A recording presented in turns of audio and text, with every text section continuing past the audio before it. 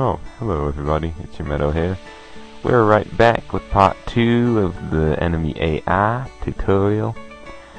Platform AI, and we gotta change a whole bunch of stuff. I made it all simple for you guys at first, but we're gonna add a whole lot more. Alright, now, let's start off with me. Oops, I hit the wrong button. Start off immediately by adding one of these. On loop name plus ID. We're going to insert one of these in here, move it to the top, insert it here, move it to the top, insert it there, move it to the top, insert it there, move it to the top. And we also got to make another event.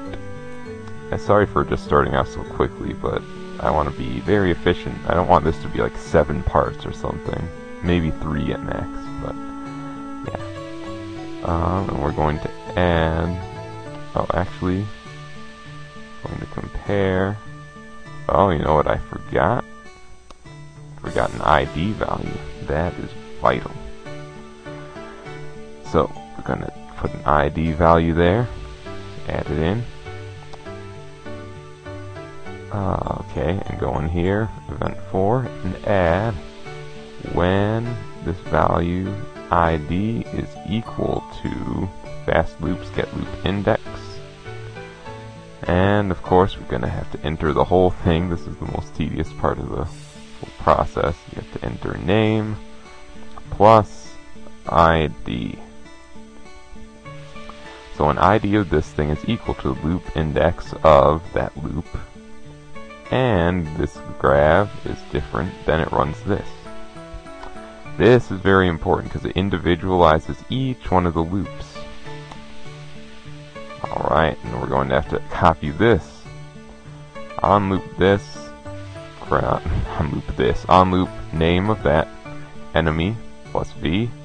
Copy one of these down in there. And see. Actually, I'm do something different here. Replace that with compare two general values go in here, get fast loop loop index, get this thing's name, oops, it's in strings, get name, plus the, you're going to be doing this a lot, just to let you know. And yes, it is terribly annoying, but it must be done. On loop v, when the loop index of that equals 0, now we're going to have to edit this out again or exit out of there. Go into the actual object that you have. It can be any shape whatsoever.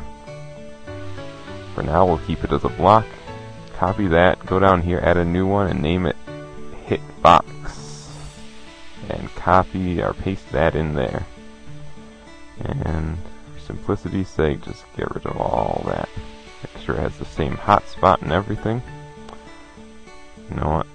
Actually, for the sake of all that is good and holy, let's make the hotspot right in the center. that will become important. Alright, so there we go. Oops. So go right back into the movement behavior. And, and that is that in this event, number 8. Add change animation. Now, it doesn't have hitbox listed, so we'll just have to put 12 there. So change the animation sequence to 12, which should be hitbox. Animation 12 is always after stand up, or whichever the last one is, so you can just count down from there. If you have more animations than your enemy, then you can do that. Now this, I should explain what the purpose of that is. That completely eliminates any need for detectors. And I know that probably sounds crazy, but that's actually true. If you have a hitbox animation, it makes it more difficult to change the animation of the enemy, but it makes it so you don't have to have a separate object as a detector, which can be a godsend in some situations, but it also makes it more difficult to play an animation. So if you have an enemy that is going to have to be swinging its arms and animating like crazy, you might want to actually use a detector. But this technique is to show you how you can do it without one.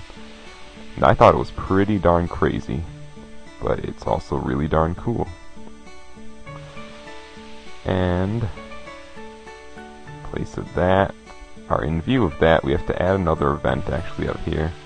Insert new event, always, and change animation sequence to stopped. And I know this seems really weird because we just changed it to hitbox down there, but I'll explain that a little later.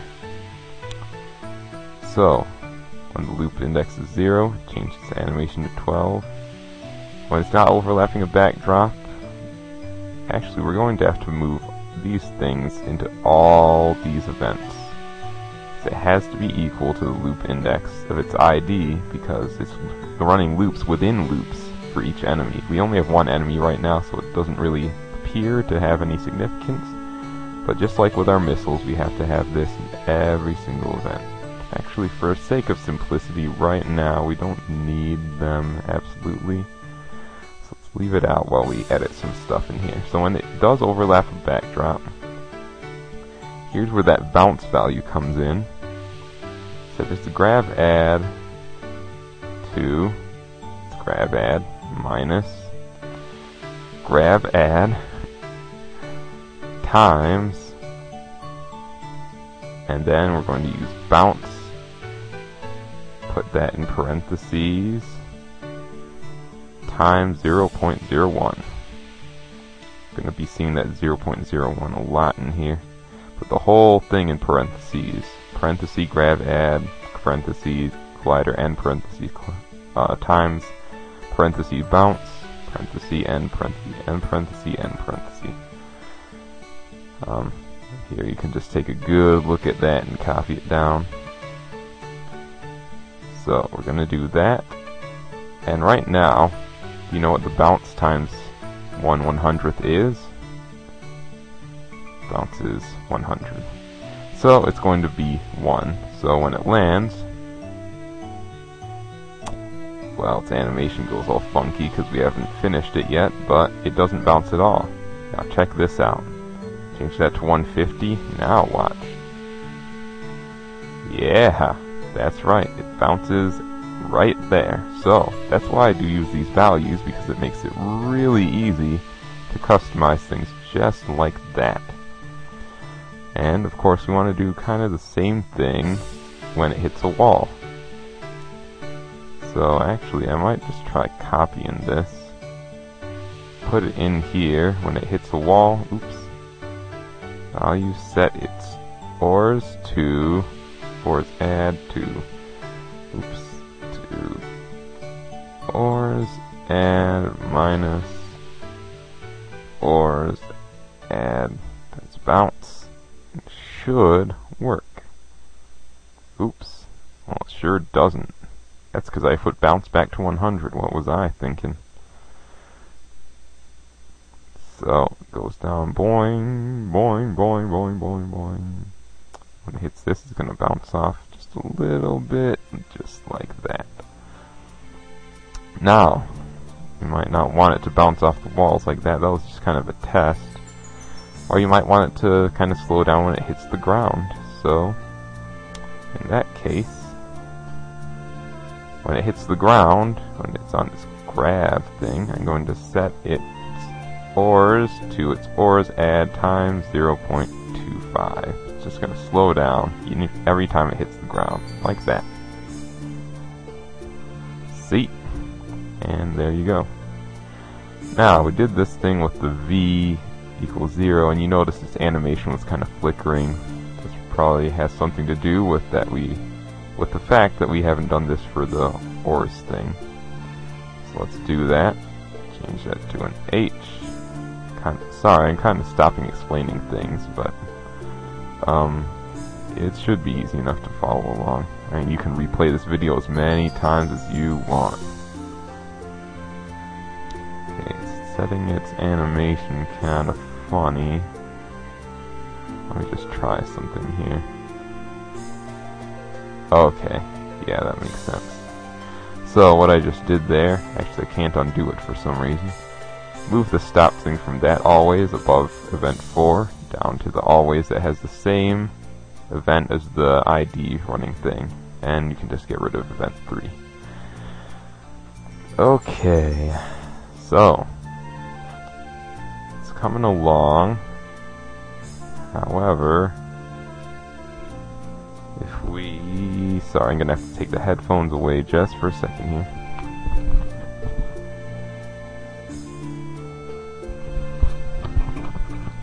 Okay, we have three or more than one of those objects, yeah, you can see things aren't quite going well there.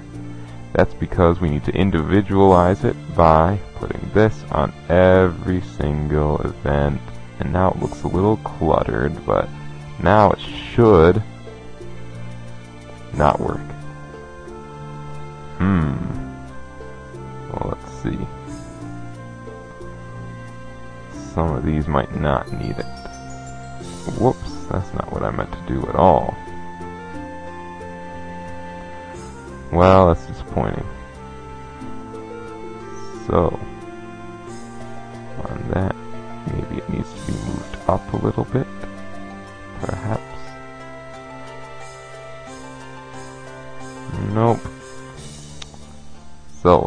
Through, see if we can find the problem really quick. If not, I'm going to edit out this part and then come back when I have figured it out.